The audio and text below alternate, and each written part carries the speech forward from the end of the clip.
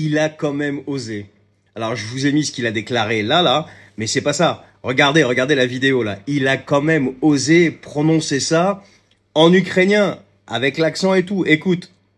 Je le dis ici, je le dis ici, en tant que Premier ministre de la France, au nom du gouvernement de la France, à la tribune de l'Assemblée nationale de la France. Je le dis au plus, plus profond de mon cœur, qui résonne et qui bat pour la valeur de liberté des peuples. Je le dis du plus profond de mes tripes qui se nouent autour de l'intérêt des Français. Slava Ukraini. Je sais même pas quoi dire. Vous êtes vraiment né, mais pas avant la honte, avant ce qui précède la naissance de la honte en fait.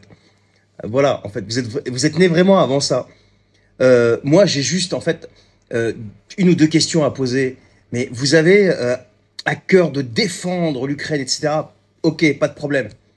Slava Ukraini, Slava Ukraini. Quand est-ce que tu vas prononcer en arabe? Vive le peuple palestinien et vive le peuple libanais parce qu'en attendant, eh ben ils sont en train de se faire taper dessus et il y a des morts tous les jours.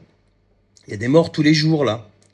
Euh, Enfin, je sais pas sur quel euh, canal d'information vous êtes connectés les mecs, mais il y a des morts tous les jours, mais énormément en plus.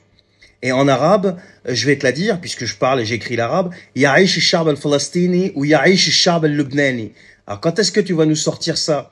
Mais quelle bande de serpillères que vous êtes sérieux.